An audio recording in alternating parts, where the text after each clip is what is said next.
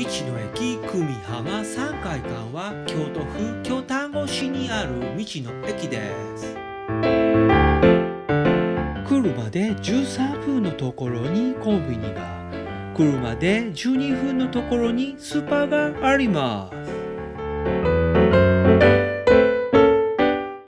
お風呂は車で4分のところに久美浜温泉があります。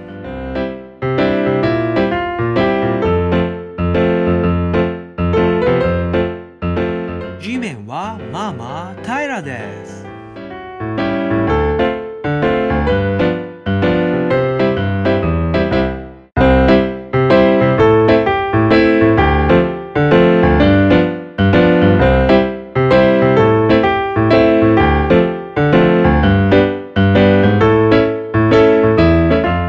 トイレは綺麗でウォシュレット付きです。